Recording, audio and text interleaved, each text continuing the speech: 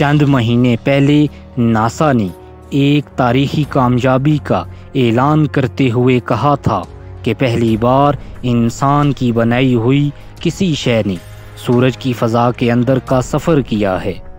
NASA ने मशहूर Parker solar probe के मुतलक कहा था कि ये सूरज को छूने वाला पहला खलाई जहाज़ भी है। पार्कर ने सूरज के एक बड़े राज पर भी रोशनी डाली है।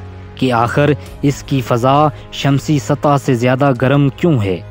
फिर साइंसदानों ने यह भी कहा था कि सूरज की सतह से ऊपर बलई फ़ज़ा में मुसलसल हरकत में एक गैर मरई रुकावट या सरहद है, जिसे एलफ वेन पॉइंट का नाम दिया गया है। ख्याल है कि इस नुक्ते के आगे अजीब व गरीब तबी मुजाहरीन यानी मुख्तलिफ़ अनासर, मुख्तलिफ़ अंदाज में गर्म होते हैं। पार्कर की तहकीक के बाद नासा ने इस पर तीन मकाले शाया किए थे। इस साल अप्रैल में पार्कर सूरज की फ़ज़ा में जा पहुँचा, जिसे कोरोना का नाम दिया गया है। लेकिन ख्याल रहे कि ये मकाम भी सूरज से इक्यासी लाख मील दूरी पर वाक़ है। कम से कम फासले की बात की जाए तो पार्कर सूरज से पैंसठ लाख मील की कुर्बत तक पहुँचा है। यहाँ सूरज की नामवाफ़ फ़ज़ा और खौफनाक गर्मी से बचाने के लिए इस पर खसूसी हफाजती परत यानी शील्ड लगाई गई।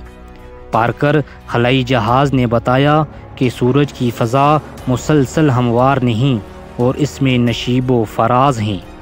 दूसरी जानब इसने तेज़ शमसी जकड़ के एक माखज, यानी सोर्स का भी अशारा दिया है, जिन्हें स्विच बैक्स कहा गया।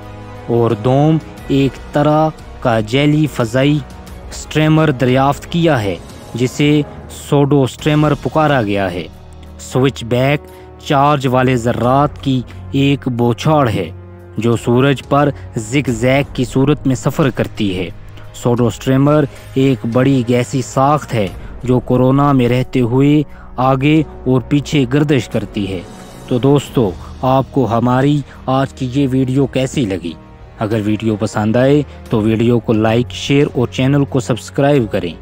आपने अपना कीमती वक्त निकाल कर हमारी वीडियो देखी, हम आपका बहुत शुक्रिया अदा करते हैं।